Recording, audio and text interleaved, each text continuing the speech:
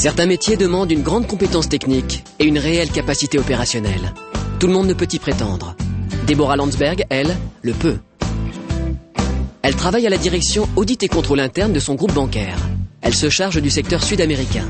Grâce à son métier, elle combine un travail d'une grande rigueur, d'une exigence constante, avec son goût de l'ailleurs et de la rencontre d'autres mondes économiques. De formation universitaire en comptabilité et droit international, elle obtient les réponses précises sur un champ d'enquête qui est chaque jour plus vaste et plus complexe. Hier, elle ne s'occupait que de questions comptables. Aujourd'hui, elle doit appréhender et analyser l'ensemble des risques identifiés sur une zone géographique. Risques financiers ou informatiques, mais aussi risque de blanchiment d'argent par exemple.